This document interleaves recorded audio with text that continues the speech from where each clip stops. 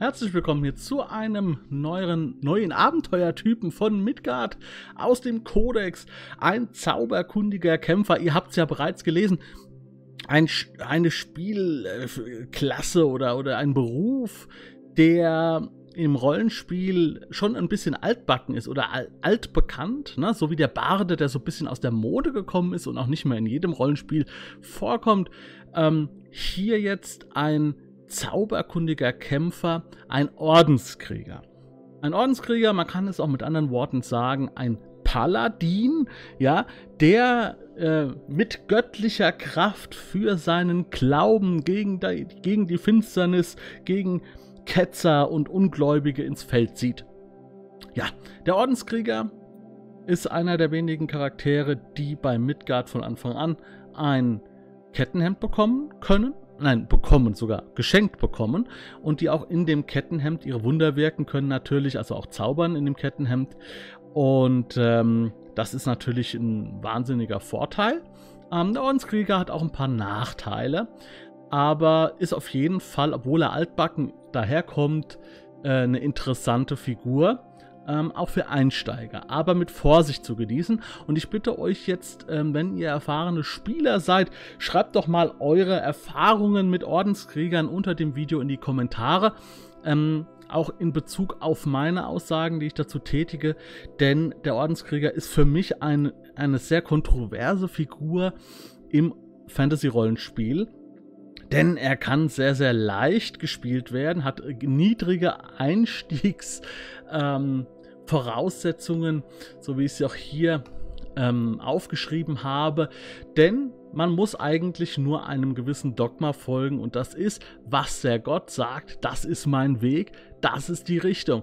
Also schnappe ich mir mein äh, Quellenbuch, schaue, was der Gott ähm, für ja, für eine Stilrichtung hat oder für eine Ausrichtung oder eine Prägung und dann laufe ich einfach dieser Prägung hinterher.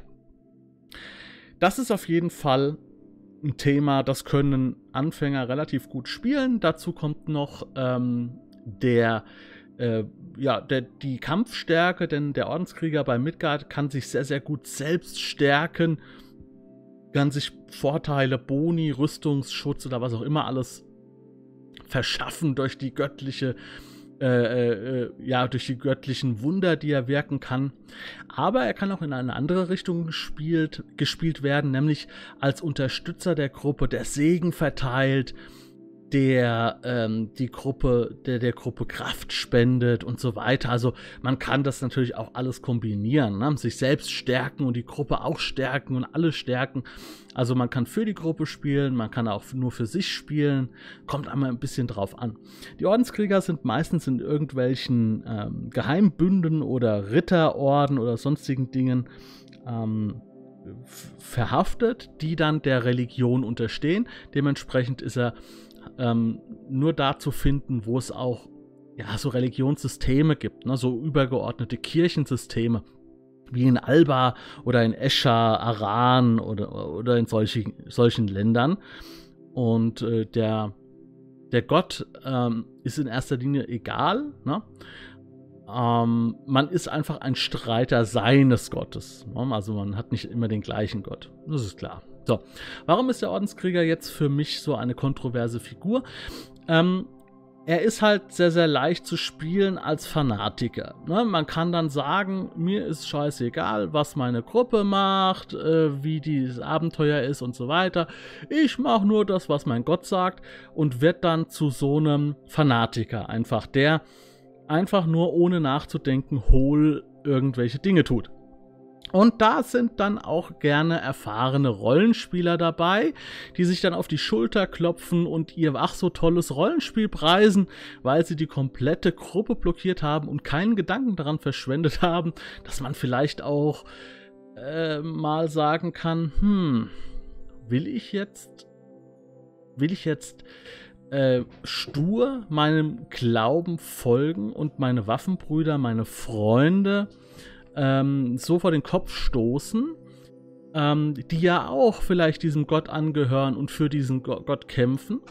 Ähm, und die Katzen wieder hinter mir total am Abgehen.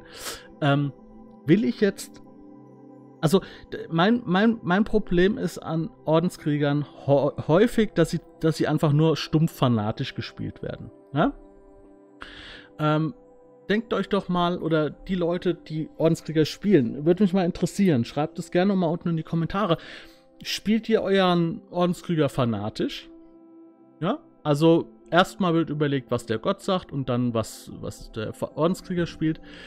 Oder spielt ihr ihn so, dass er eine reale Figur ist, meiner Meinung nach, die natürlich fest im Glauben ist, aber es gibt auch noch, es gibt ja auch noch äh, andere Dinge im Glauben, ähm, als nur, ja, ich, ich bin jetzt äh, absolut gehorsam. Gut, das mag in der DNA des Ordenskriegers ein bisschen ver verankert sein, aber ich glaube nicht, dass ein, auch ein strenggläubiger Mensch irgend, in jeglicher Situation sagt, ist mir egal, was meine Freunde in dieser Situation für richtig erachten. Ich mache nur das, was mir der, der Glaube sagt. Weil wenn das so ist, dann findet doch auch ein Ordenskrieger keine Freunde. Dann braucht er doch eigentlich auch gar nicht mit einer Gruppe ausziehen. Und ich spreche nicht davon, ein Ordenskrieger aufgeweicht zu spielen. So, ne, so dieser Kuschelorg ja, dieser berühmte, also das ist dann ein Ork, der gespielt wird, aber der wird eigentlich gespielt wie ein Mensch, außer dass er grün ist. Ne? Das meine ich nicht, sondern dass man sich auch Gedanken macht, ja, mein, mein Charakter, der muss ja auch Entscheidungen treffen, die vielleicht auch nicht so ganz passend sind. Der muss ja auch, ähm, der muss ja auch vielleicht mal seinen Glauben prüfen oder so. Ne? Also, äh, schreibt mir gerne eure Informationen oder eure Erfahrungen zu Ordenskriegern oder Schrägstrich Paladinen in eure in die Infobox. Ähm, Finde ich immer ein bisschen schwierig. Aber, wie gesagt, er ist leicht zu spielen, weil er ein Kettenhemd bekommt, weil er schöne Wunder wirken kann, um sich selbst zu stärken. Ähm, ja, und noch so ein paar Dinge. Äh, zum Beispiel seine Eigenschaften liegen auf Stärke und auf Zaubertalent.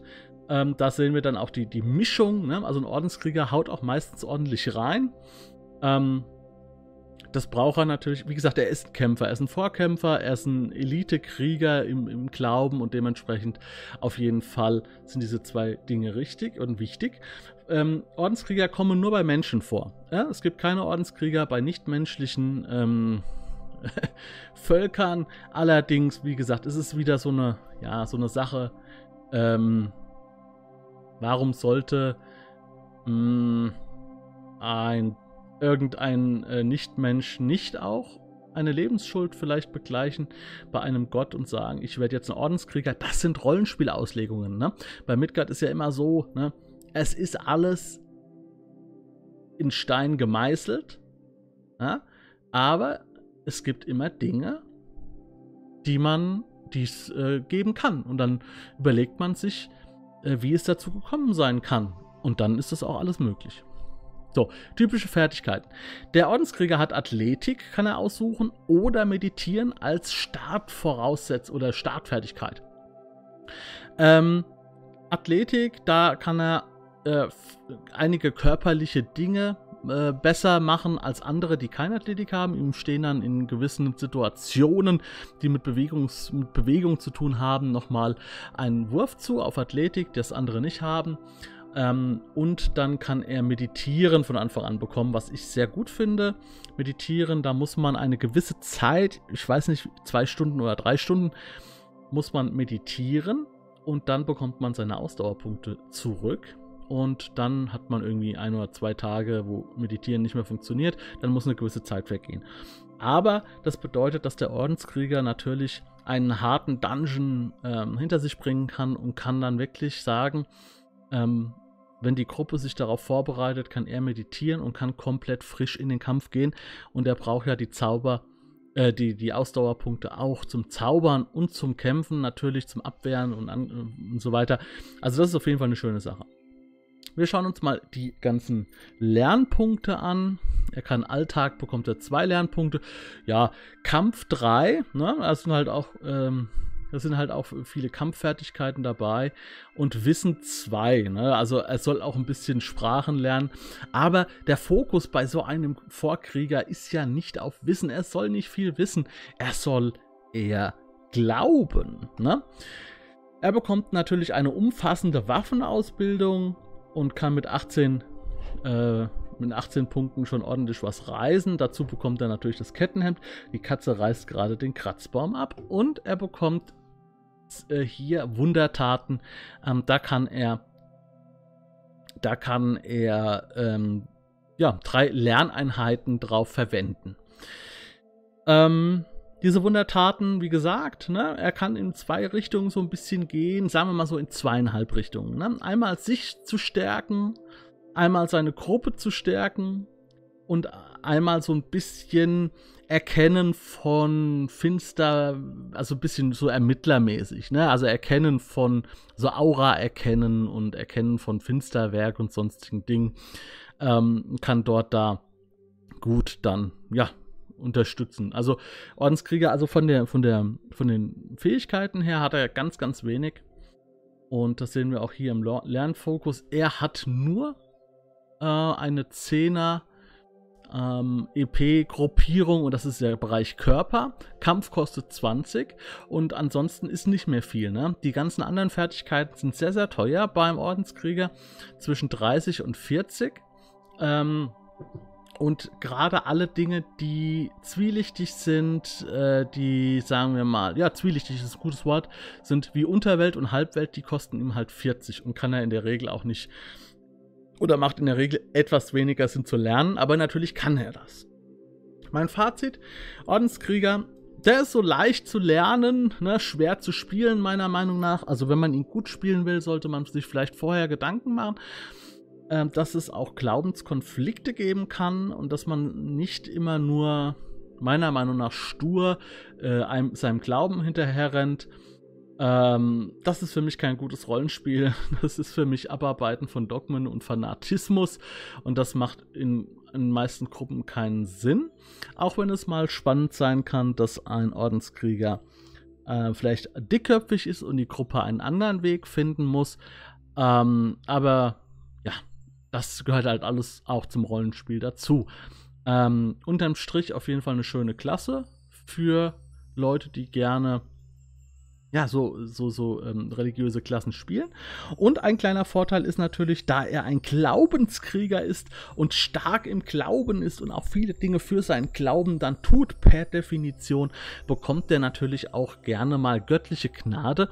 Ähm, göttliche Gnade ist ähm, so ähnlich wie Schicksalsgunst und kann, wird meistens, ähm, ja, äh, meistens etwas reichhaltiger vergeben als Schicksalsgunst. Und göttliche Gnade kann, ähm, ja, kann auch nochmal in, in kniffligen Situationen mit einem Stoßgebet oder sonstige Dinge ähm, den Ordensritter vor schlechtem Karma bewahren und vielleicht auch vor dem Tod. Alles klar, Leute, wenn euch das Video gefallen hat, dann lasst mir gerne einen Daumen nach oben, ein Abo da unter dem Video findet ihr die Playliste, in der alle ähm, Midgard-Charaktere oder Midgard-Abenteurer-Typen nach und nach erscheinen. Und nicht nur die im Kodex, sondern auch die in Dunkle Mächte. Das Mysterium und äh, das Erbe der Löwensöhne, da ist auch noch was drin. Und vielleicht auch noch, das sage ich jetzt hier, weil es mir gerade so spontan einfällt, vielleicht auch noch Charakterklassen ähm, aus alten Editionen. Ähm, die werde ich aber dann separat markieren ähm, die aber mit ein wenig Aufwand auch für Midgard 5 spielbar gemacht werden können. Wir sehen uns im nächsten Video wieder. Macht's gut, Leute, und ciao.